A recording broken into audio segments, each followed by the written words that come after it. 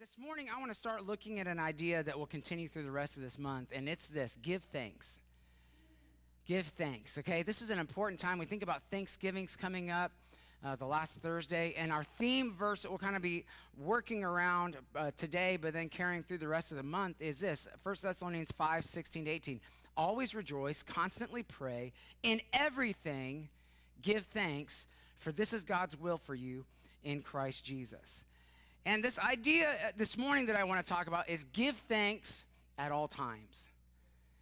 Give thanks at all times. And you know, when you face situations like I, I, I can promise you, I did not, um, I was not giving thanks when I stuck my key in my car and turned the, the, the key and nothing happened except ding, ding, ding, ding, ding as my door dinger was going. I was thinking, oh man. In hindsight, I can look back and say that, you know what? God was in control at that moment. My groceries didn't go bad. I got a ride home pretty quickly. You know what? In fact, when I went back to get it, I didn't have to pay for a tow service. Even though my insurance has roadside assistance, it's still a claim on my insurance. I didn't want to have to do that again. It started up, and I was like, by the grace of God, it started. I'm not taking it any further than to the automotive shop that I trust across the street, right? I looked back and I thought, you know what? How different would my whole evening have been had I given thanks in that moment? Rather than getting frustrated, rather than being upset, rather than thinking, oh man, I got to spend money I don't have, God was saying, I've got the money, you just don't have it in your hand yet. God said, you know what? You're going to get it without, you, I know you don't want to have to call your insurance and have another ding on your, on your insurance. I've got it taken care of. And when, he, when, when he's writing here, Paul's writing to the church in Thessalonica, he's saying, give thanks in everything, at all times. You know, the, as we look at the verses surrounding this, we can go to that next slide. I think it has the title. Oh, and then, that was that's where I was going to say thank you. I looked; those are all thank you in different languages. But the next one, if you would, and the next one. We look at the first point here, and as we're thinking of giving thanks at all time, we should give thanks for God-given leadership. Okay? Paul's writing to the, to the Thessalonians, and he says this in verses 12 to 13. He says, Now we ask you, brothers and sisters, to acknowledge those who labor among you and preside over you in the Lord and admonish you, and to esteem them most highly in love because of their work. Be at peace among yourselves. There's a lot of stuff wrapped up in those couple of verses as we look at that today. You know, it's, it's not just talking about pastors, right? I mean, we could specifically apply that to our situation, but we have other leaders in the church that God has placed in leadership that do this, right? They, they admonish us in the Lord, right? We have people in our lives that do that. And what's he saying? Brothers and sisters, acknowledge these people. And you did that for me last week. And I, Mel and I really just I, uh, we were overflowing with the joy and the thanks that we, we felt for you. And he says, esteem them most highly in love. It means that you don't, you know, we were, uh, Mel was in Detroit and um, Marvin Winans as a pastor there, Perfecting Praises Church, and um, their church and Mel's home church did a lot of things together. And I remember they were talking one pastor appreciation, and the church at Perfecting bought him a Porsche once. And they drove it right up in front of the church and put a, I probably put a bow on or something and gave it. And he came to speak at Mel's uh, home church, and it was on a main street, Woodward Ave, in, De- in Highland Park near Detroit. And when when Pastor Marvin showed up, he didn't park that thing on the street. He didn't put it in the gated lot across the street. He pulled that sucker right up onto the sidewalk underneath the marquee of the church and parked it right there because no, nobody's going to mess with his pastor appreciation gift. Now, I'm not saying you have to go to those extravagant means. What's he say? Esteem them highly in love. You know what's interesting is he goes on to say, be at peace among yourselves. Do you think it's coincidence that Paul gives an instruction for peace after saying, esteem God given leadership highly in love? No, because it's often our differences that we might have with leadership that cause us to disrupt the peace that should be promoted in this place. Well, I don't agree with the pastor. He didn't do this. I don't agree with Deacon so and so. He wants to do this, and I don't think that's the right thing that we should do. And we start running our mouth and talking and causing troubles and starting fights and putting junk on Facebook and writing letters, and calling, texting people. And then down the line, and then it comes back around to Deacon so and so. You know what? Sister who and who doesn't even like you. Well, why didn't she come to me in the first place? Is that how we're to treat leadership? No.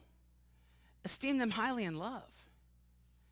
And in doing that, promote peace. Live at peace one with another. Don't be the person that's always talking. And you know what? Every church has got them, and I just want to take them out and give them a holy throat chop. Stop running your mouth. If I hit you in the larynx hard enough, you will not be able to talk for a while. You know what I mean? It's frustrating. So and so is talking again. It doesn't have to be that way. We don't have to be a drama filled church. Let's be a love filled church. Let's be a peace filled church.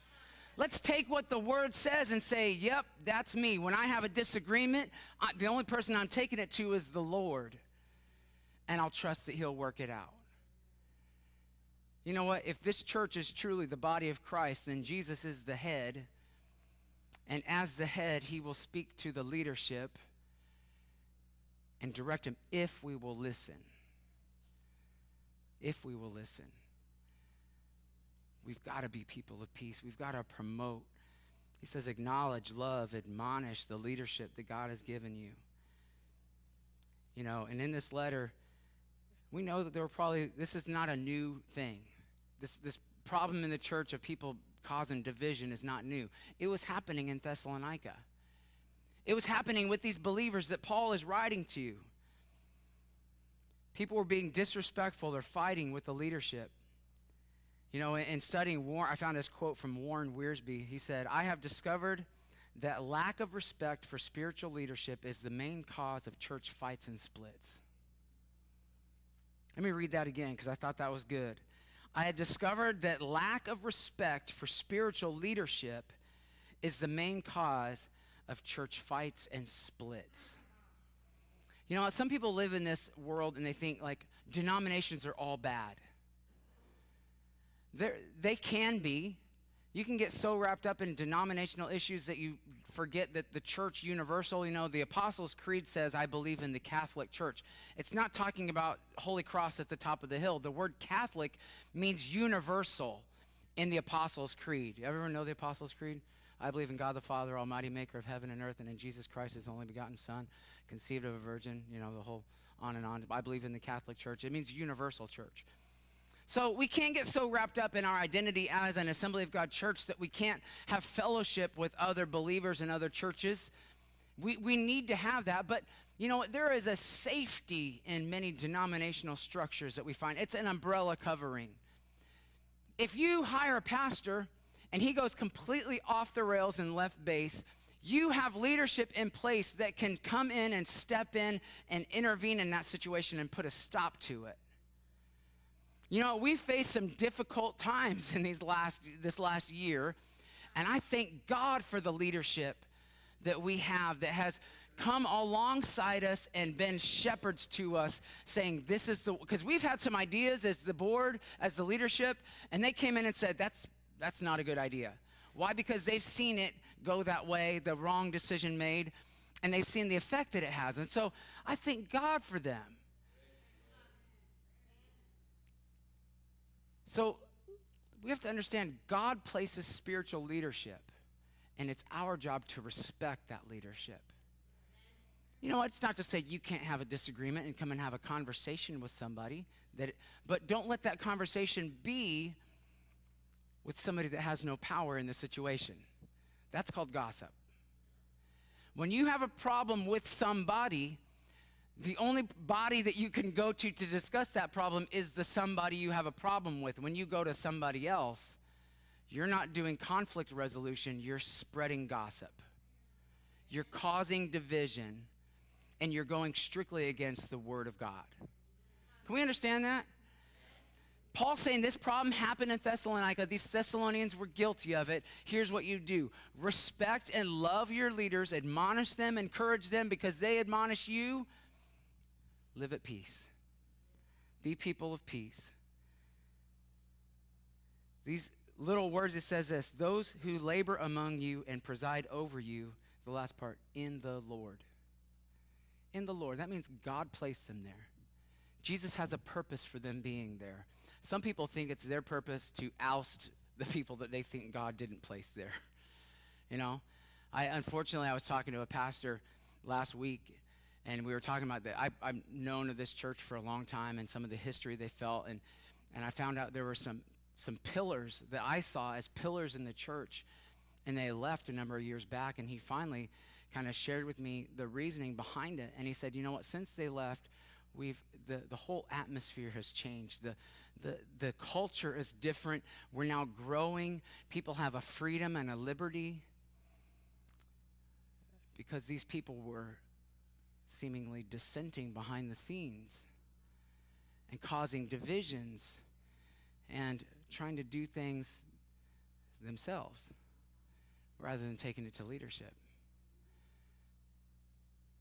this fighting let me tell you, encourage you this. If, if the main cause of fights and splits is, is disrespect for the leadership, a guy named Leon Morrison is. uh, commentary, of The Epistles to the Thessalonians, he said this Leaders can never do their best work when they're subject to carping criticism from those who should be their followers. So that means if that's true, that a leader can never do their best work if all they're hearing is criticism, criticism, criticism, then you can help a leader do their best work by what? Encouraging. Encouraging, being thankful for them, saying, you know what, I support you. And when you don't see fully the full support for their vision, you go to them privately and say, Can you explain this a little bit further? Because I'm kind of seeing it a different way, and we can have a discussion. It's beautiful when you can have a discussion that doesn't lead to a fight, isn't it? That's the hard line because we kind of put, our, I want to talk to you for a minute. We put our walls up, we put our defenses up. But I've seen a culture change even in this body in the last year where we have more discussions versus arguments. I told, let me just tell you, I, uh, two, two months ago, we, we had our board meeting, and it wasn't four hours long, and we were all saying, Praise God, thank you, Lord. Some of us forgot our lunch and it's not forever. And then I got to the end and we were getting ready to dismiss. I said, You know what I just realized? We've had more laughing in this meeting than anything else. Because, yeah, we got business done, we made decisions, we moved forward, but we were joyful in it. And let me just encourage you with that note. It, the board as it is now is the culture has changed. It's different as I see it. And, and there's a lot of joy and laughter in the process versus arguments and fights. That's a good thing. So if you want your leaders to do their best work, don't be guilty of constantly criticizing, encourage. You know, we look back, we just saw the game seven of the World Series. All of us were probably rooting for the Royals, hoping that, uh, hoping they would win, hoping something would happen. We probably all despise uh, Mr. Buck and his love affair, his, his uh, man romance with uh, uh, Bumgarner, you know. Uh, that guy was in love with him, you know. He could do no wrong in his eyes. Um, you know, we could even look at, at the lady that's saying, God bless America. And I was like, huh? Uh, the hairs on the back of my neck stood up. And as she tried to, I don't know, remix that song and then changed keys accidentally and went off pitch at the end, I was like, oh, this is hurting my brain for you to do this. You know, we, we could all look at that game, and if we were watching, we could probably point out something that we didn't agree with. Ned Yost should have done something different. The people that, that picked that lady should have tested her a little better before they said, hey, you want to come and sing God Bless America? We, we, we do that after, you know, you watch a Chiefs game and you're what?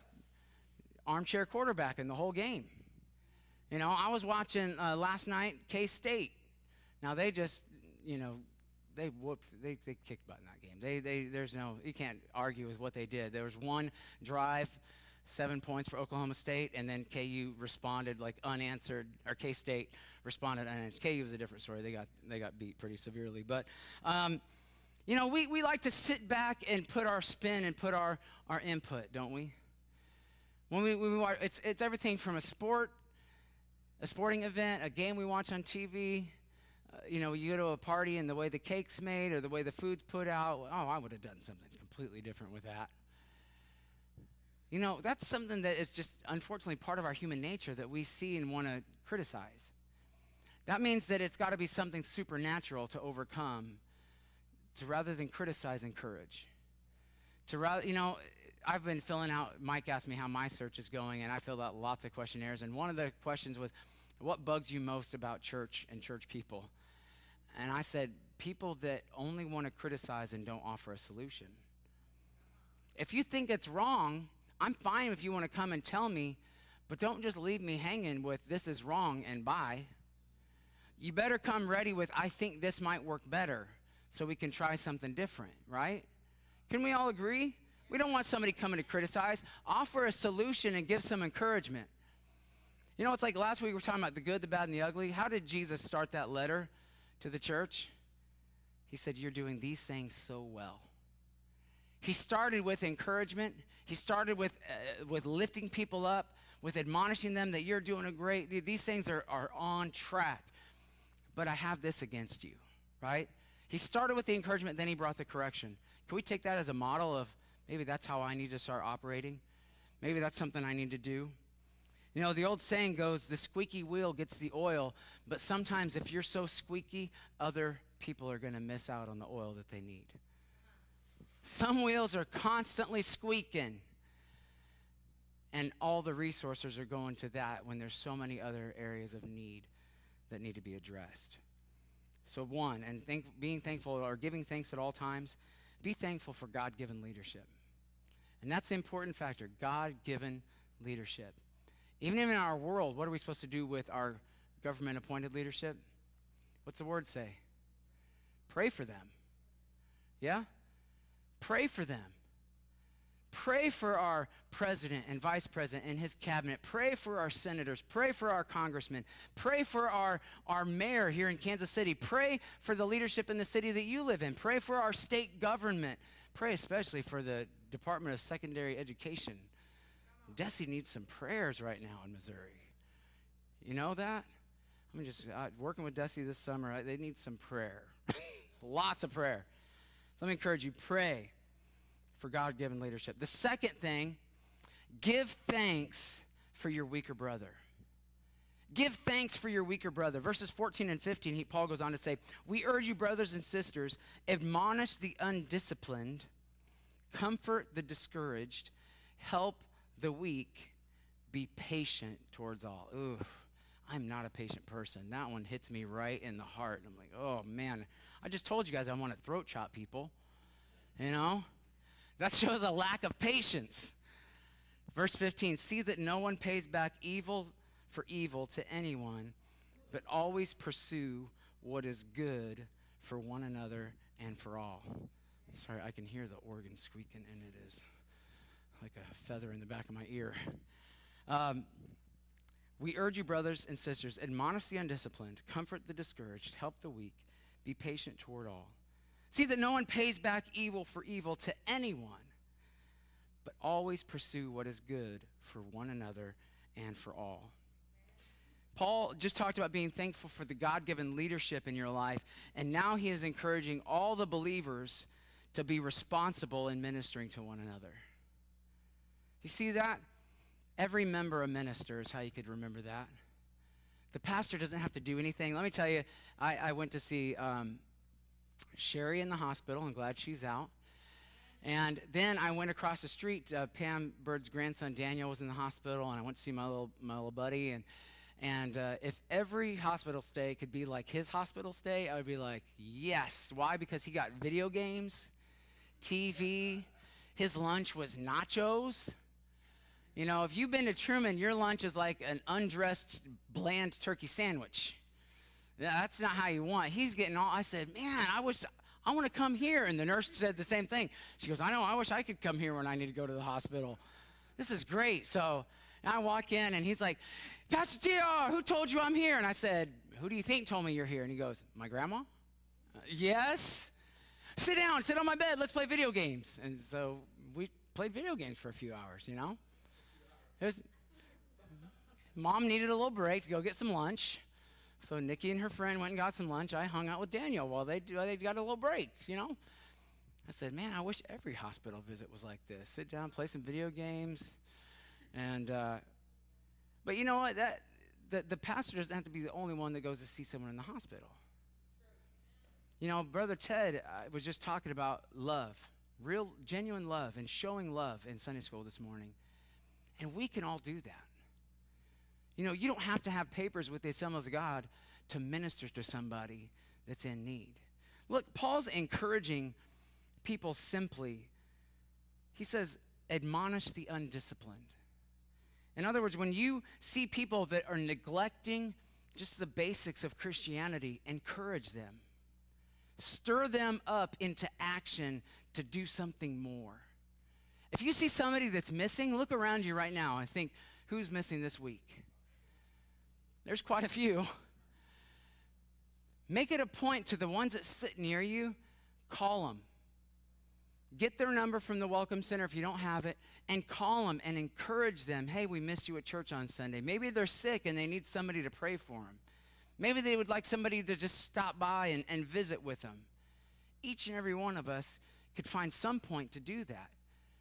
You know what? I, uh, Sister Catherine Wallace, used to sit right here, I remember whenever um, I was sick or Mel was sick, it was pretty sure thing that I would get a handwritten note in the mail from her.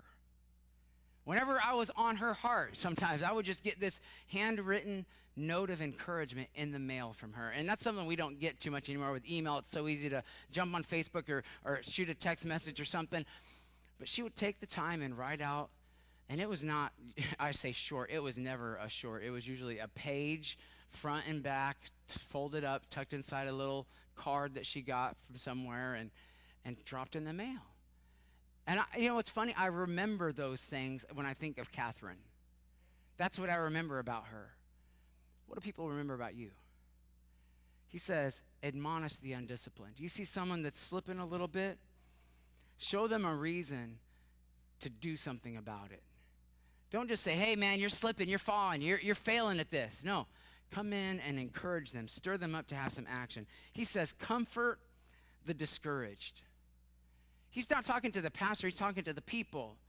You know, somebody that's discouraged, you can come and tell me about it. I might not know, but I'm probably going to tell you, you know what, you should maybe give them a call if God's laying them on your heart. That's for a reason. The Holy Spirit's doing that for a purpose. You know, tell me about it. I'll join with you in praying for them. But if it's you that the Lord put on their, uh, you put them on, on your heart, then you do something about it. It's like you might come to me, Juan said, hey, I got an idea for trunk or treat. Run with it, brother. Do it. Right? And he did it. And he said they had a good turnout, even in the cold. It was like 20 degrees outside. you know? He says, comfort the discouraged, cheer up those that are just downtrodden. They're just pushed down. They're, they, they, they don't see a hope or a future. Cheer them up, give them some encourage them. Bring something that will stimulate them to press through the pain. You know, I was reading a, a, John Piper devotional this week, and he said some of the deepest things in Christ are learned through suffering. You realize that's true? Some of the deepest things that we learn in life happen because we suffer. And we all need somebody to help us when we're pushed down, when we're discouraged. Help the weak. You know, some people just haven't learned yet to rely on Jesus for everything they need. And it's a process, I would say a lot of us are learning that full reliance on Christ. And Paul's encouragement here is help those people. Give them a testimony of how God met your need when you were there. Just like I had my car broke down, don't know what to do, don't know which part. I can't just go start buying all these parts and putting them in. Yeah, a starter's only four screws, but I don't know for sure if it's the starter. I don't know if it's the ignition switch. I don't know if it's the alternator. It can't be. I, don't think it would be that. But, you know, I'm thinking in my mind, I kind of know some parts, but I don't know which one. I needed some, some specific direction on how to get it done. But then, uh, you know, I found that person and God provided the funds to pay that person. So he can do the same for you. I'm no special person. Well, in God's eyes, I'm no more special than you, Eddie. God loves us the same, right? We're all his children. And what, you know, God doesn't show favoritism to his children, does he? I know sometimes we have favorites. All parents will agree. There's probably a child you had a favorite. I, I have my sister's got nine kids. I've got one that's a favorite, you know, and I'll tell her, and then maybe the rest of them hopefully don't know that, that he's my favorite. But God doesn't have favoritism in his children. You can help the weak. And then he says this be, be patient toward all. That's the hard thing. When you see people that are weak, that are discouraged, that are undisciplined, it's easy to get impatient with those people. How can we keep falling over the same thing all over again? And Paul's reminding us as, as every member is a minister here, and you're ministering to those that are le- the, the weaker brother in the situation, you've got to have patience. And if you're like me and don't have patience, you got to say, Holy Spirit, help me be patient. Help me to t- shut my mouth. Right? Be patient toward all. Don't be quick to point out other people's faults. Be patient and help them grow in Christ. Yeah? See, we're all in the race, but some of us are at different points in the race than others. And, and we've got to be patient with the brother that's, that's lagging behind a little bit in the race and trust that God's going to work it out in them.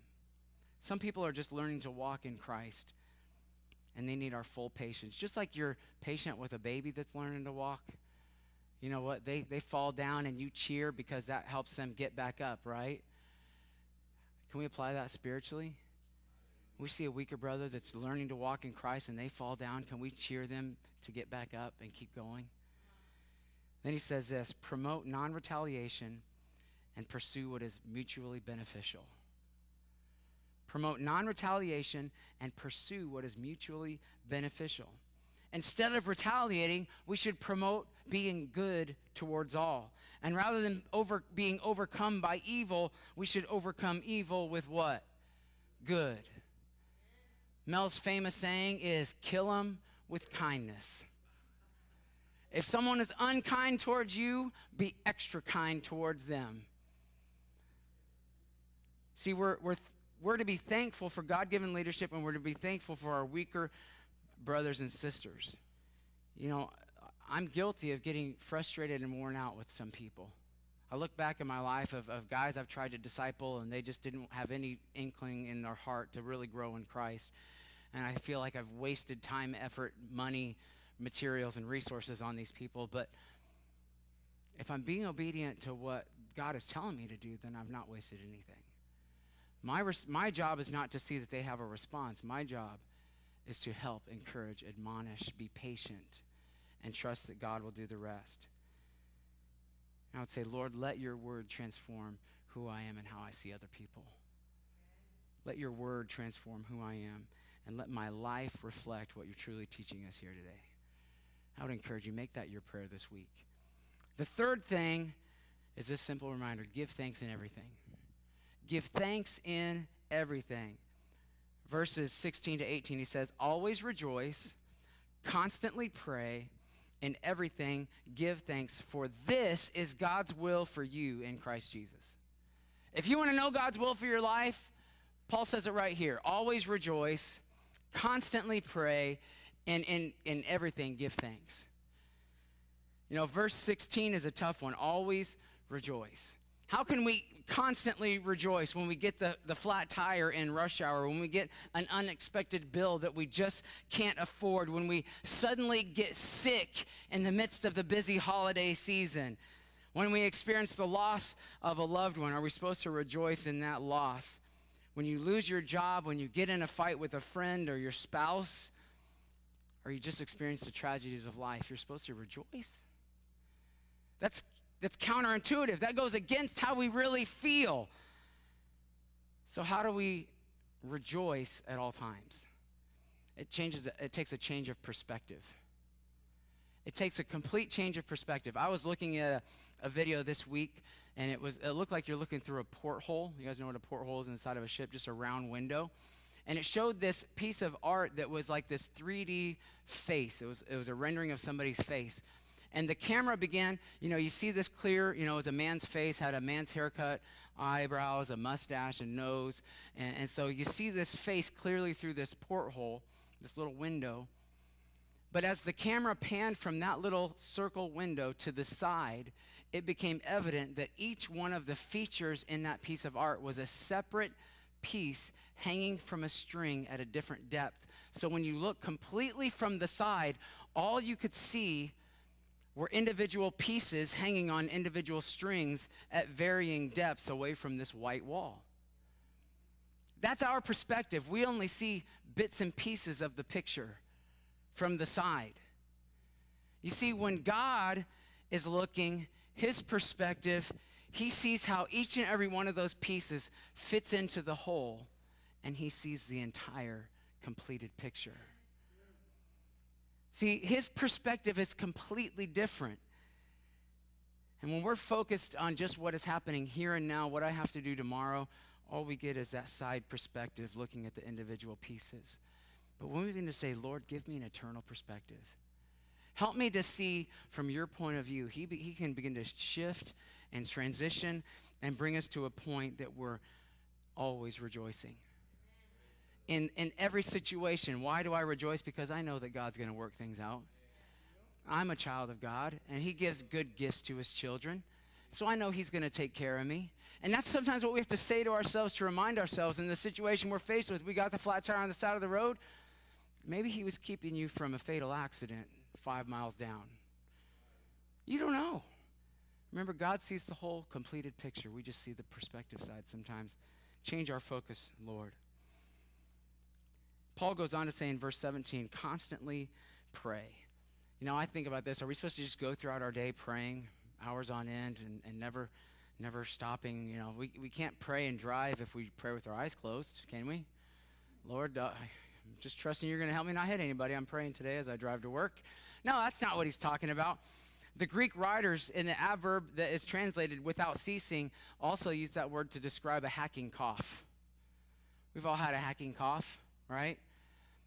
What do we do? We cough when we need to get something out, right? It's not like we cough and cough and cough and cough and cough. If you do that, you wake up with really sore chest muscles and your back hurts and your body aches because you've been coughing all day. But a, a, persistent hacking cough, it just, when you have something that needs to come out, you got to cough. There's no help. So if we apply that to prayer, as I go throughout my day and I feel the need to pray, what do I do? Pray. I have a conversation with my Father.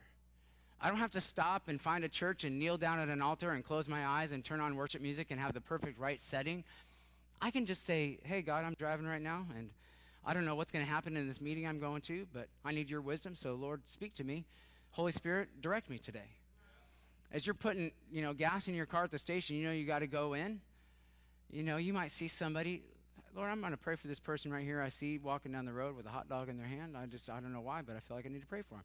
Be constantly in prayer. Be in a point that no matter where you are throughout your day, you could stop what you're doing and you can vocalize a prayer or you can internalize a prayer because the both can happen. And God hears them both. How do I know? I used to only think you got to pray out loud all the time. Until what? God took my voice away. And then I could no longer pray out loud or worship out loud. A lot of things became internal, and I realized there's power when you can just meditate quietly on the Lord. And you could do that throughout your day while you're at work. You could be doing your work and just thinking about the Lord, be in prayer. He says, be constantly in prayer. Again, Leon Morris said, if we live in this way, conscious continually of our dependence on God, conscious of His presence with us always, conscious of His will to bless us, then our general spirit of prayerfulness will, in the most natural way, overflow into uttered prayer. It is instructive to read again and again in Paul's letters the many prayers that he interjects. Prayer was as natural to Paul as breathing.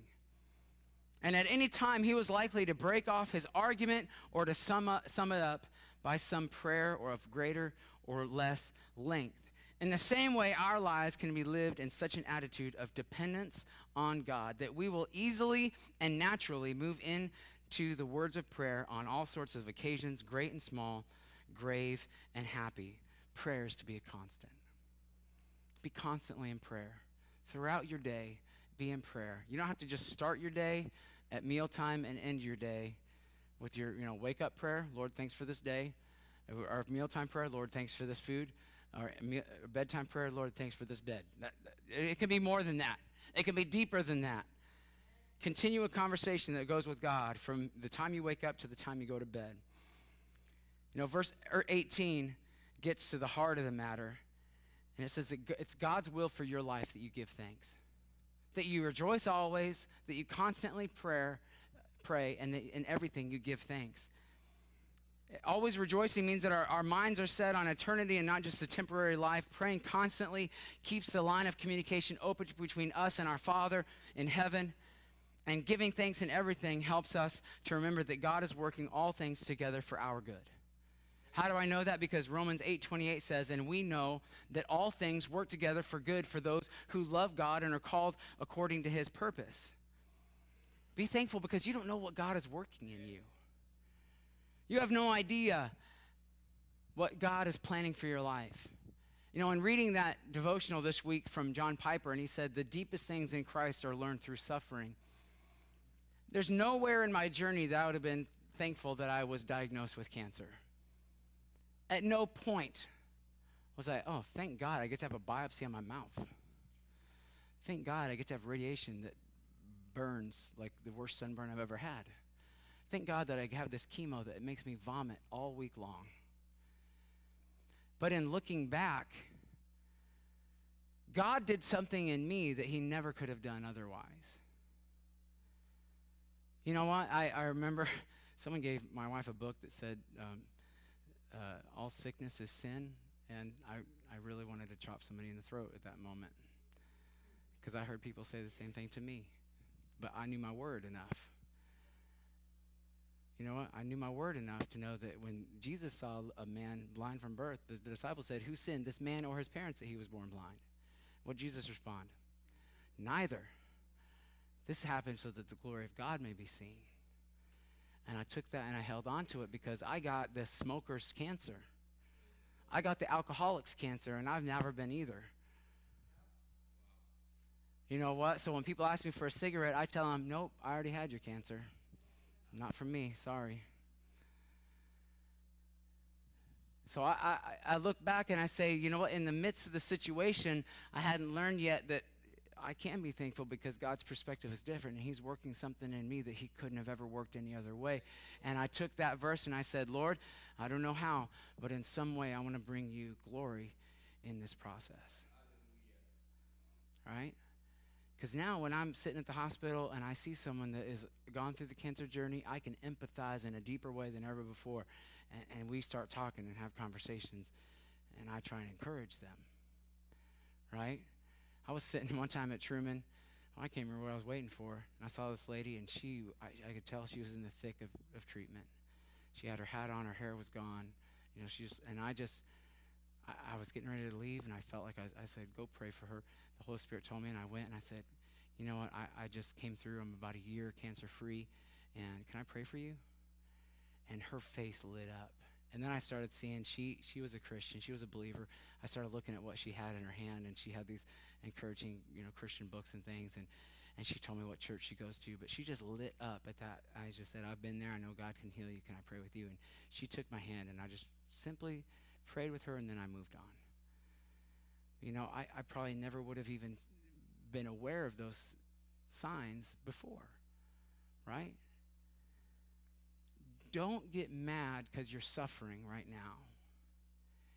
Because if you will give that suffering to God, He will work in you something that is deeper and more profound than you ever could have seen done otherwise.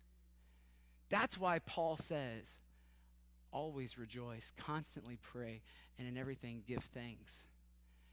You know what you think? Well, Paul had a privileged life. He could say that. No, if you read his writings, we can see that Paul suffered with some physical ailment. Most people believe that it was a problem with his eyes that was unpleasant to look at, meaning it was probably weeping and pussing. That's why he had to have somebody write many of his letters. And he says, See what large letters I write to you. And so when he would write, he couldn't see well enough that he could write small. So he would have to put portions very largely. And he prayed, Lord, can you take this away from me? Three times, the word says. And God's response was, My grace is sufficient. For I'm in your weakness, I'm made strong. Hallelujah. Embrace the suffering. embrace the low point of life, and look along and see the others. God is calling us to give thanks for God given leadership. He's, he's telling us, give thanks for the weaker brother. Do what you can to minister, every member a minister. And everything, in fact, give thanks.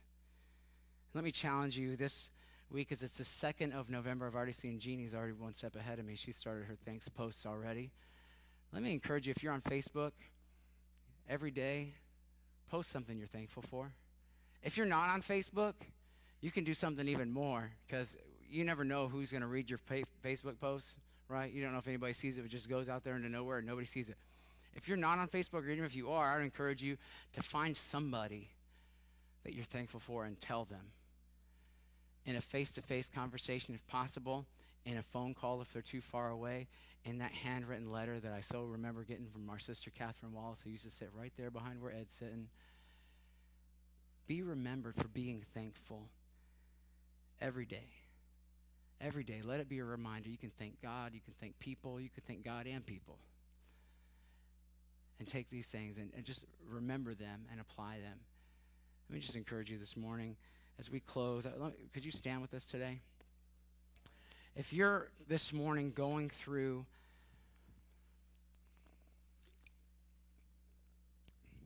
that low point of life, that suffering point, that thing that you really don't feel like you can rejoice in or be thankful for, and you want prayer this morning, I want to pray for you. As we, we, we were praying earlier for the persecuted church, maybe you're here today and you are just feeling persecuted by life and you would like prayer. I want to encourage you to come this morning, and I promise you won't come alone. If you need prayer before we leave this place today, I want to just pray the Holy Spirit empower you and strengthen you to not give up in the middle of the fight. And if that's you, I just want to encourage you this morning before we dismiss that we would pray, that we have an opportunity to pray with you and surround you today.